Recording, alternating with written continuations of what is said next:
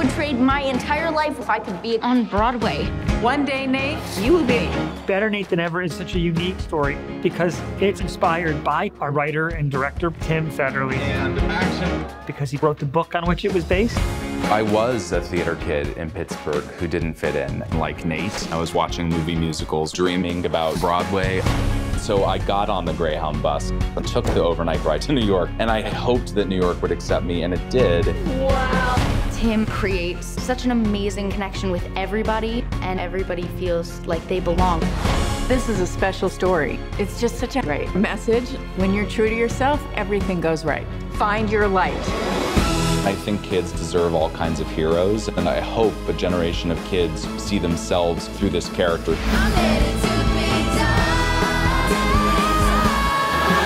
I'm headed to the big time.